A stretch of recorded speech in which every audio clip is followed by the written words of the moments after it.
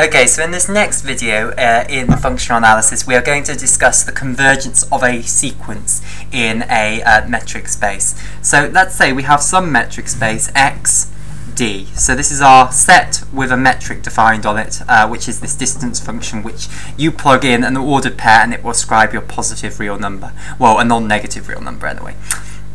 Okay, uh, so what we want to discuss is the concept of a limit uh, in a uh, metric, uh, well, the limit of a sequence in a metric space. So firstly, uh, a sequence is, um, is a map, a sequence, let's say x, uh, is a map from the natural numbers into your set. So it ascribes to every natural number, so the natural numbers are 1, 2, 3, 4, 5, 6, etc., it ascribes to each natural number uh, a point in the sequence, and this is often abbreviated. Uh, 1 is mapped onto x1, 2 is mapped onto x2, 3 is mapped onto x3, etc. So x will map a natural number n onto some point x, which is uh, labelled with this subscript n. So uh, the intuitive picture is that you have x1, x2, x3, and they would go on and on and on and on and on, and they might just converge on something and get closer and closer and closer and closer to something. Uh, so, uh, the if the meaning of a limit of a sequence in a uh, in a uh, metric space is that if the limit of a sequence xn as n approaches infinity is some let's say uh, let's say l for limit, uh, then that what that means is that um, for all the epsilon greater than 0, there exists a big N, which is an element of the natural numbers, such that for all little n is greater than or equal to big N, the uh, term of the sequence x little n minus the limit, oh sorry, this is the real numbers I'm going, sorry, the distance between the term x little n and the limit is less than epsilon. So basically, what it says is that if you have some limit, let's say here is our limit L, then you give me whatever epsilon you want, construct the open ball, um, construct the open ball uh, uh, around L. So this is the ball around L of radius epsilon, which is all points all points x is an element of little x, uh, little x is an element of big X, such that the distance between L and x is less than epsilon. So construct the set of all points which are a distance less than epsilon from L, and basically I can find you a big N in the sequence, some big N down here, such that if little n is greater than or equal to it, so if you if you pick any term in the sequence beyond uh, big N, uh, greater than or equal to big N. So either x big N, x big N plus 1, x big N plus 2. Any term after that n in the sequence, it's going to be within this ball, i.e. the distance between xn and L is going to be less than epsilon, which equivalently you could say that xn is an element of the ball uh, centre the L of radius epsilon. So basically what it says is that uh, take any ball of whatever size, make these balls arbitrarily small, and I will always be able to find you some point in the sequence, some big N uh, point in the sequence, after which that point and all points after it are within that ball. So the sequence gets within the ball and stays within it. And that's true for arbitrarily small balls.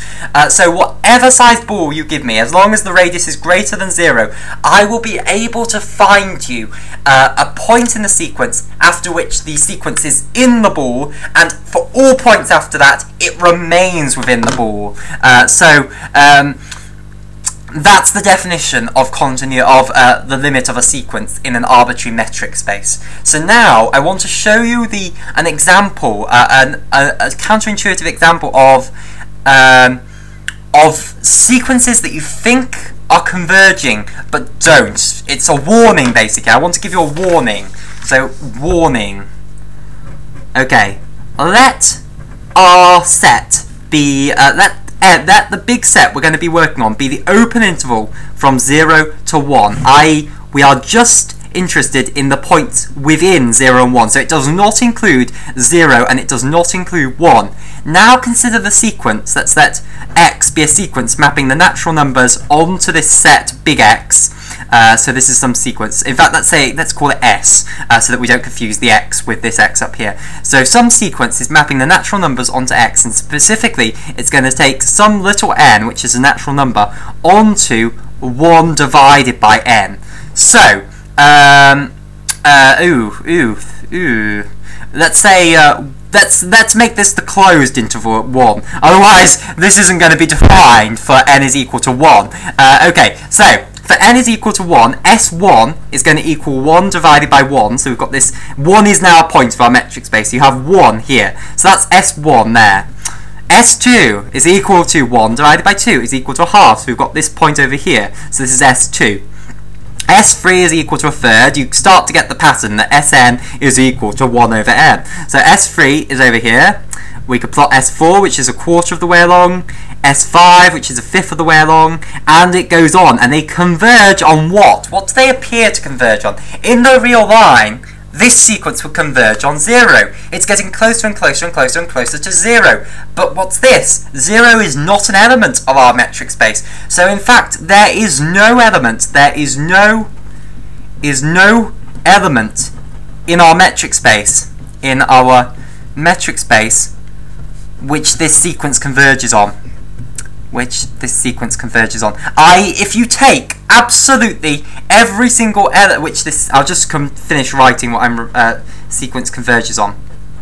Okay, and this means that if you take any point, take let L be any point uh, in this interval 0 to 1, and basically this will not be true. It will not be true that the limit as n approaches infinity of x to the n is equal to L. I.e. it will not be true that for all epsilon greater than 0 there exists uh, a big N uh, greater than 0, uh, a, well, a big N is an element of natural numbers, such that uh, for all little n greater than or equal to big N, uh, the distance between xn and L uh, is less than epsilon. Okay, and the reason for this is if you take any number, if you let L be any number in this interval, so let L be any element of this any element of this interval, then basically I can find you an epsilon. If I make epsilon small enough, uh, I will find you.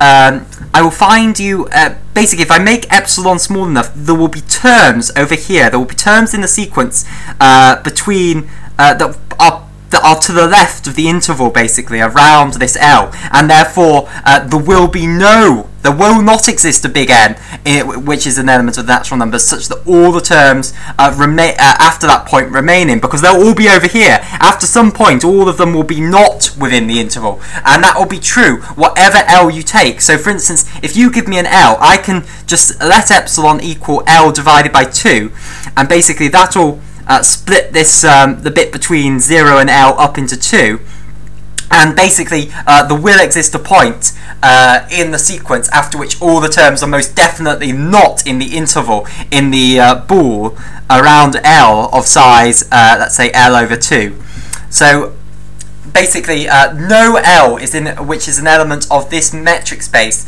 is the limit for that sequence. So sequences which we would think converge don't necessarily converge in abstract metric spaces.